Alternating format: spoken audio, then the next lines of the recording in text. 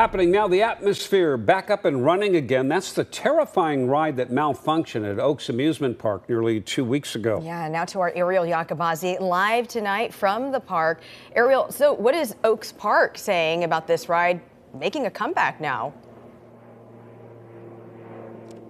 Yeah, hey guys. So Oaks Park officials tell us that they couldn't find anything wrong with the ride based on their initial investigations. I mean, we just missed it. The ride was going in full swing. Well, not exactly full swing. They won't be going 360 degrees, but just about there. So we're told by park officials the manufacturer of the AtmosFEAR, Zamperla, did a complete inspection of the ride.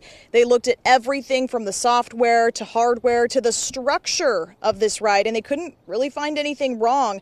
Now, they also took a look at the data, and that shows there wasn't an operator error, which caused the ride to stop. So there are a lot of more questions tonight. Now, we had the chance to speak with Jason Kafoury.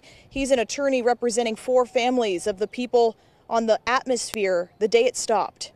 Frankly, uh, the families are concerned uh, that they reopened the ride this quickly. Uh, we haven't been uh, allowed to see any of the internal investigations yet.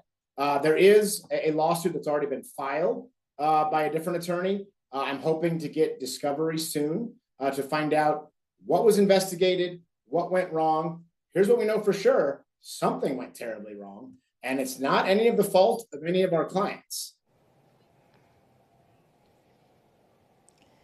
Yeah, he also says they are still in the process of investigating the whys right now. And he says he sent a preservation letter to Oaks Park after the incident that asked them to not destroy any evidence. But he says he hasn't gotten a response back from them, but he is expecting to hear from them in the next few weeks or so now that there are lawyers involved. So, as you can see here, the ride is up and running again. The lights are flashing. She's ready to go, and she's been regularly taking people up in the air. So, the only difference this time is that the ride has suspended. It's, as I said, 360 degree function, so it won't go all the way upside down like it did when it stopped midair earlier this month, but it's only going to go part way, kind of swinging back and forth. Now, we asked Oaks Park for a statement on camera, but they said they couldn't make one as there is pending litigation happening right now. So we're going to check in with some people going in and out of the park to see if they were on the ride and see how everything's going.